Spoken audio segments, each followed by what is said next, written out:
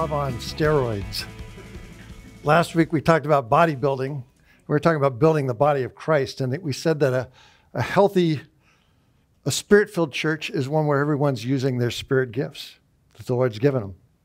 And a little bit more context of the, the text that we're going to study today is that Paul gives us 11 chapters of doctrine about how we were lost to sin and dead to sin. And the wages of our sin was death, but the free gift of God was eternal life in Christ Jesus. So while we were yet sinners, Christ died for us. And then he begins this chapter, chapter 12, and says, What should our logical response be? But to stretch out our bodies in obedience and offer ourselves as a living sacrifice. And then he says, he tells us to not be conformed, don't take the shape of the world, don't be like your neighbors, but be transformed by the renewing of your mind. And so it's got to start in our mind before we can love through our bodies and in a, in a present way. I had I knew a man who had three beautiful daughters, lovely little daughters, and he loved them so much, and he would tell me how much he loved them, but he also had an addiction.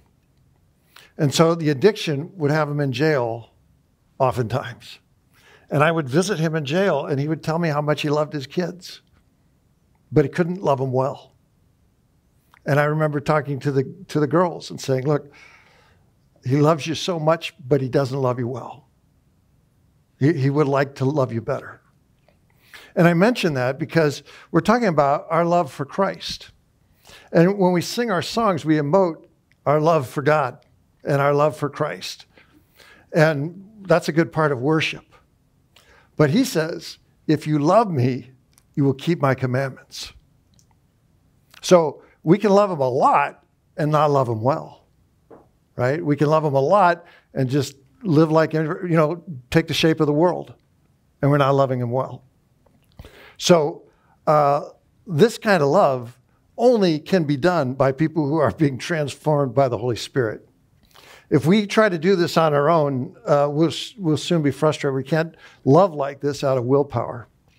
To put this in context, I'm going to read a little bit the last slide from last week, and uh, I won't comment on it too much, but hopefully it'll remind you of some of what we said. Let's take a moment and ask the Lord to uh, bless this time in our hearing. Father, we thank you so much for the chance to gather here in, in the freedom of this nation.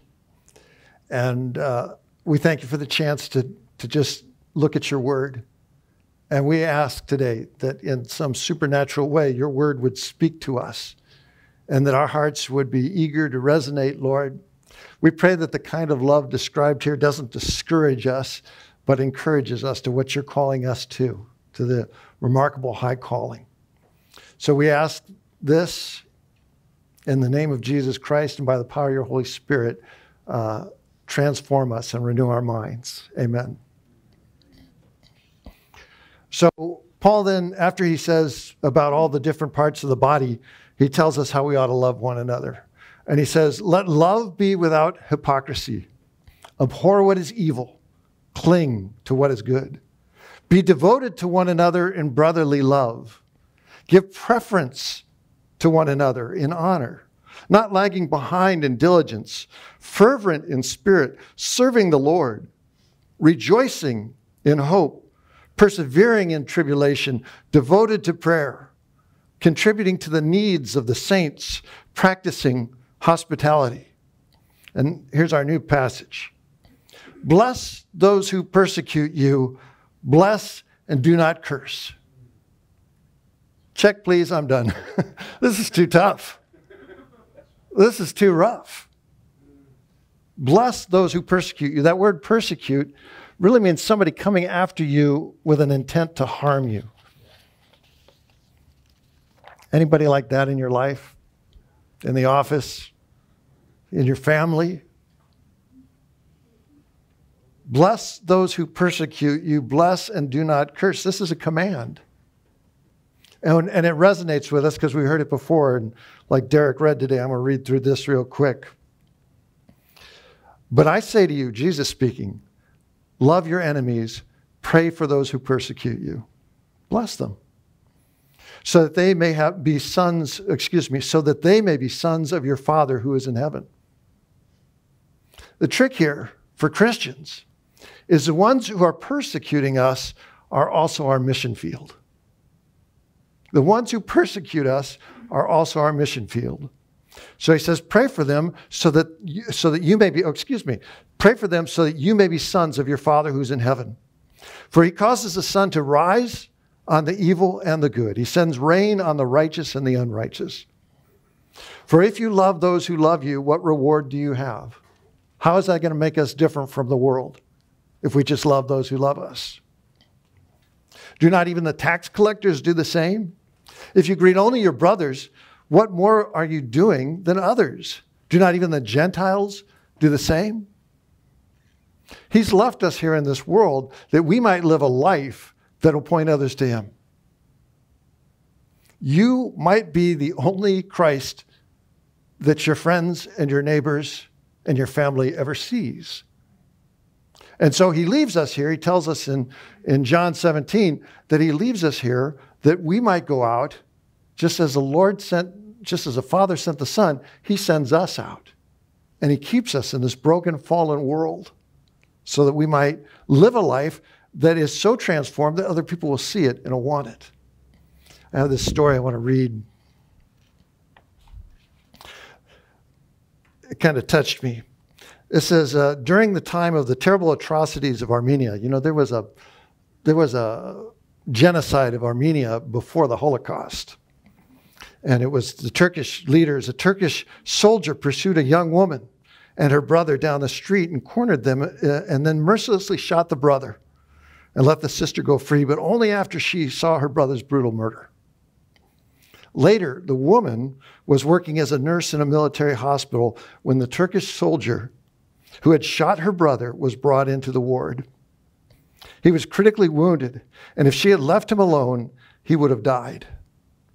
At first, she wrestled with, with the desire for vengeance, but she realized that the Lord wanted her to treat this man with kindness. So she gently nursed him back to health. One day, the Turk who recognized her said, Why didn't you let me die? She replied, I'm a follower of Christ. And he said, Love your enemies.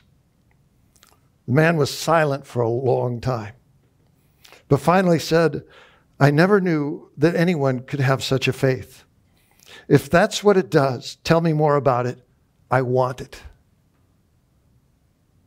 Those who persecute us are our mission field. So we want to keep in mind that the world is watching. And this is God's plan. Paul tells Timothy, indeed, all who desire to live godly in Christ Jesus will be persecuted. This makes me think I'm not working hard enough. We've had it pretty easy for a long time in this country, even though now we're starting to realize hey, wait a minute, we should have been more vigilant. We're losing things, we're losing rights. And, and Christianity is being redefined as haters. But Peter and Paul and Jesus, they told us to expect this. Back to our text. Bless those who persecute you, bless and do not curse. The, this is just so hard on our flesh. Our flesh says, no, no, no, I got to get it back. I, I want them to suffer because they made me suffer. You know, it's the plot of so many movies that you see today. Early in the movie, the hero suffers some great injustice, and then he'll spend the whole movie is exacting his revenge and chasing him down. Ever seen a movie like that? It's satisfying when he finally gets him because that's what our flesh wants.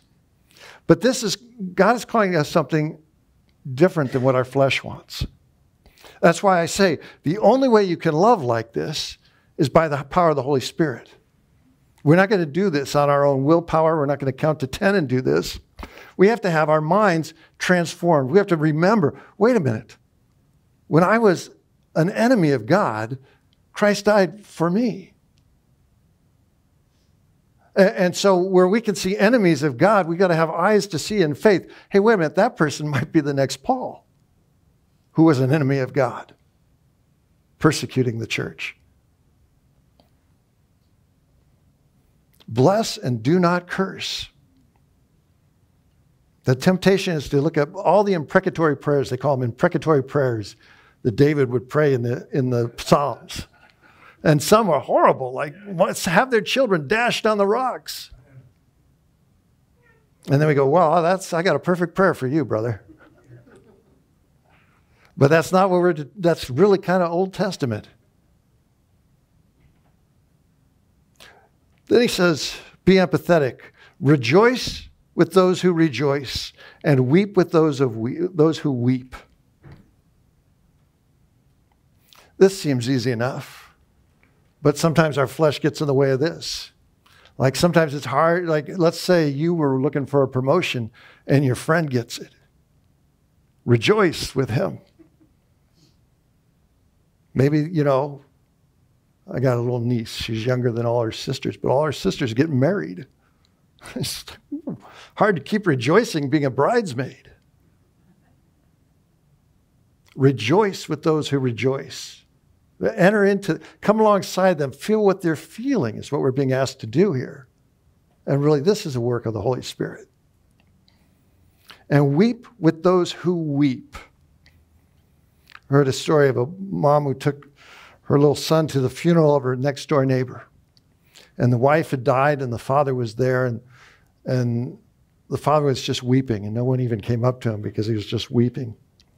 And so the little four year old boy went and sat on his lap. And he sat there for 10, 15 minutes, and then he walked away.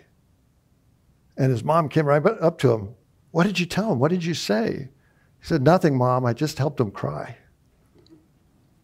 That's a great heart. That's a that's an empathy.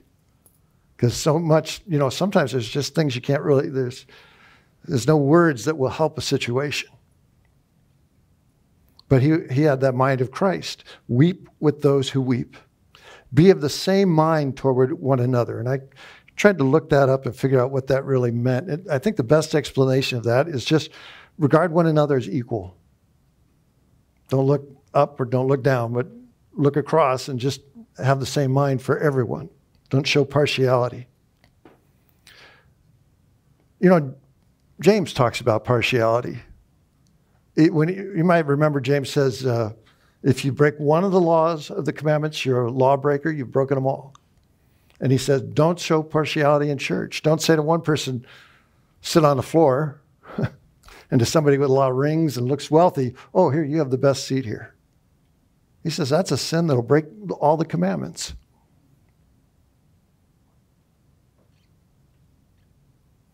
Be of the same mind toward one another. Do not be haughty in mind, but associate with the lowly. Go out of your way if there's someone sitting alone, if there's someone difficult to love, if there's someone who society would cast out, we should run to those people. When Jesus said, As you do the least of these, you do to me. Jesus says, when you're throwing a party, don't just throw it for your relatives and rich people you know they're going to invite you to their party. He says, when you throw a party, you invite the sick and the lame and, the social outcasts who can't help you at all. And then your Father in heaven will reward you. But associate with the lowly. Do not be wise in your own estimation. Never pay back evil for evil to anyone. That means in the church or outside the church. Don't pay back evil for evil. That is our natural self. As soon as evil comes our way, we're, already thinking up ways to get back. Never repay evil for evil.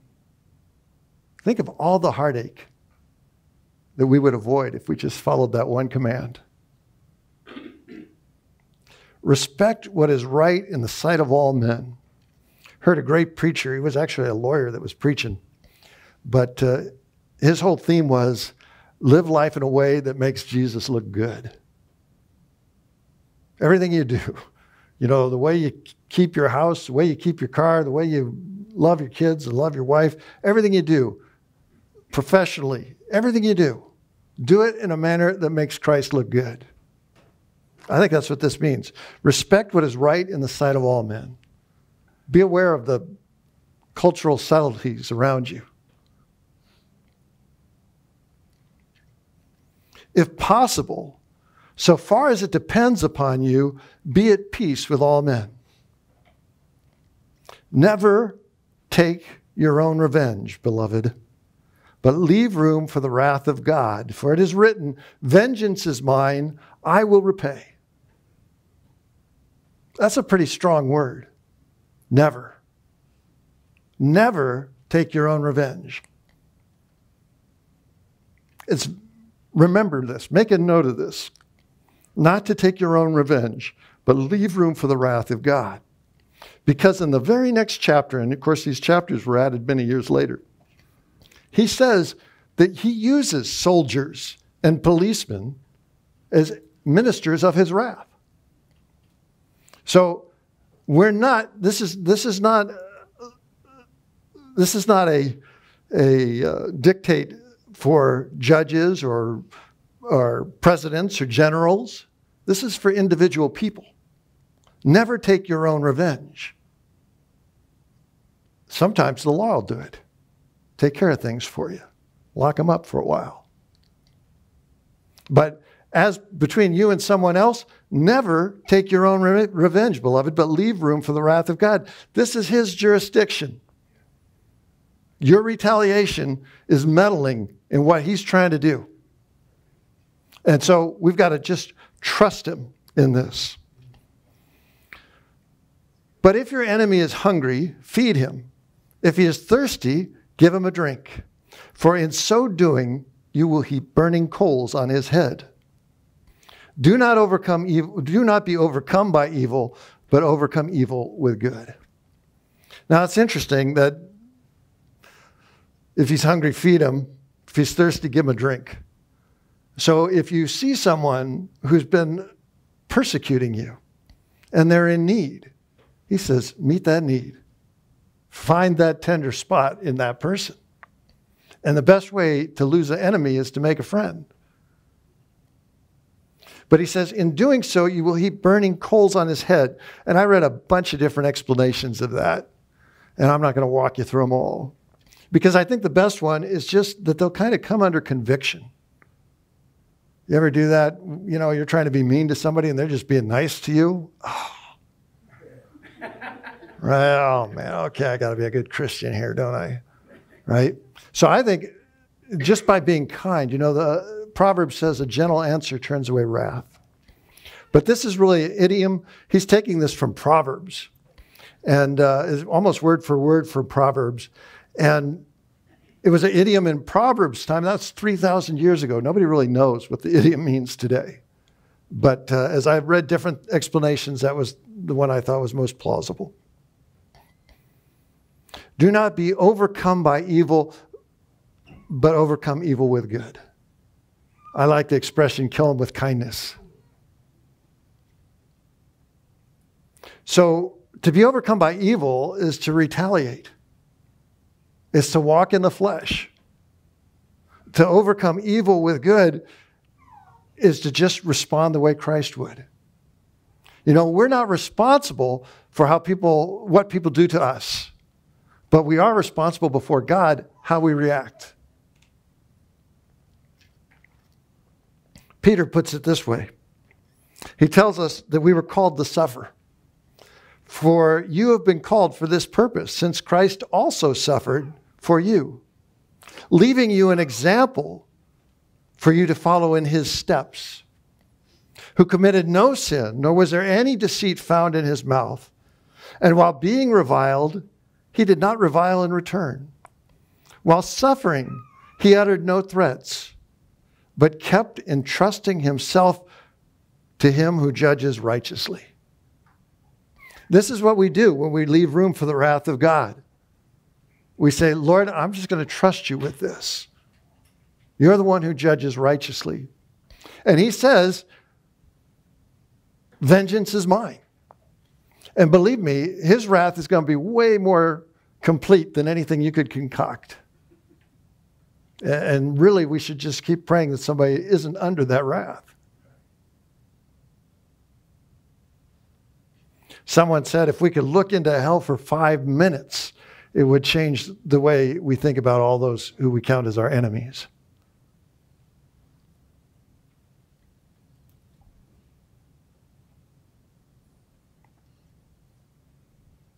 Beloved, but leave room for the wrath of God. We don't talk as much about the wrath of God as I used to in the old sermons when I read them. And, and I think we pay a price for that. I think we're kind of a generation that figures, you know, everything's going to be okay, and I'm kind of, I'm, I'm in the curve, I'll be okay. But God doesn't grade with a curve, He grades with a cross. And we really want to take everything to Him and have dealt with it before we stand before Him one day.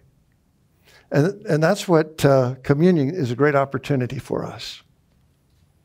In fact, as we move to communion today, I'd really like you to think about who's persecuting you now or who's persecuted you in the past. Saying a blessing on them, wanting what is good for them, is really freedom. When, when we're mulling over and hating and loathing someone for what they did in our past, we're always in bondage to that person. This is a word of freedom. Lord, I trust them in your hands. You're going to pour your wrath on them or not. I trust them in your hands. I just want to bless them and let them be well. I want to set them free. I don't want to think, you know, it's so easy when somebody wrongs you to just repeat the wrong in your mind again and again and again, and then repeat what you'd like to do back, what you should have said. He says, just be free of all that. In a way, life is too short for all that. And, and that seems really difficult, but with God, all things is possible. So when we remember, look, we were enemies of God, we were under his wrath. And he showered us with love and gave us his righteousness. And, and nothing that anybody could do to us would be equal to what we did to him. You know, all our attitudes, all our rebellion. Sin is just really rebellion in our heart and mind and actions against God. And he's perfect. And Jesus puts out that, that standard be perfect as your heavenly Father is perfect. And we all go, whoops, I, I missed. This is the whole point of, of Romans 1 through 11 was all have fallen short of the glory of God. We're all very similar. And the difference between you and your enemy is really probably just a difference of an introduction to the Lord. So let's, uh, let's be mindful of that as we pray today. Uh, I'm going to ask the elders to come forward as we celebrate break communion this morning. Ours is an open communion. It's open to all who call on the body and blood of Jesus Christ as our only means of reconciliation with God.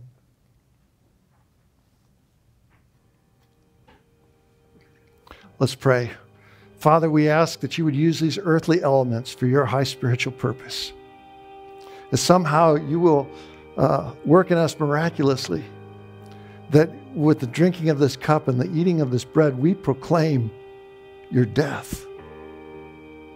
We proclaim, proclaim your death that means we were lost and you took our sins upon you. And three days later, you rose from the dead and said, You have conquered death on our behalf, Lord. What a great celebration that is. And Lord, you leave us in this fallen world of alcoholics and prostitutes, the very people you came to hang out with, Lord. And so you're calling us to be with the lepers and the lost. And just as you came to seek and to save those which were lost, Lord, sometimes you bring the lost to our front door and it's more than we can stand. And the lost see our righteous desire to live like you, Lord, and it offends them. And so sometimes, because we're trying to live your way, we find people persecuting us, people coming at us to, to ruin our day or make it more difficult. Lord, we think of brothers and sisters of Christ right now around the world that are suffering really probably the worst persecution since the first church. And it, it breaks our heart. But Lord, uh, so we're in fine company. And we pray, Lord, for them. And we pray that that kind of persecution isn't visited on us. But if it is, we know what to do. Bless and not curse. Father, only by your Holy Spirit can we react and respond that way. Only in our desire to love you back for the love that you gave us do we even have the mindset to do it, Lord. So we pray today that you would be transforming us and renewing our minds. And we call into our mind's eye, Lord, someone who has persecuted us in the past or is persecuting us now. And we ask your Holy Spirit to empower us to release those people, to let them go, to, to let them go either for the wrath of God or that they might be blessed with a conversion and might become our friends. But Lord, we recognize that those who would come after us are our mission field. Help us to have that eternal perspective as we look at them and not think so small, think so petty as to how to get it back or how to give them a lesson. Lord, help us to love in this world in such a way that people say, I didn't know there was a faith like that. Tell me more about it. I want it. Lord, we know we've fallen short of that. As you remind us about that, we invite your Holy Spirit to remind us about that. And remind us that, that we're no longer in bondage to sin, but we're under the righteousness of Christ. That right now, you have empowered us with everything we need to live a victorious life. There's now no condemnation for those in Christ Jesus, but we're more than conquerors. Lord, help those realities to sink in that our lives would reflect it. So we invite you now, by the Holy Spirit, to search our hearts. And where we have addiction, remind us that we can have victory. Help us to seek out the help we need. Where we have a sin, Lord, we can confess. Where we've hurt someone, we can go and be reconciled and, and admit and confess to them. Lord, help us to live during this communion, after this communion. Help us to live in a way that makes you look good. And we ask your Holy Spirit to do this in us and for us, transform us. In Jesus' name, amen.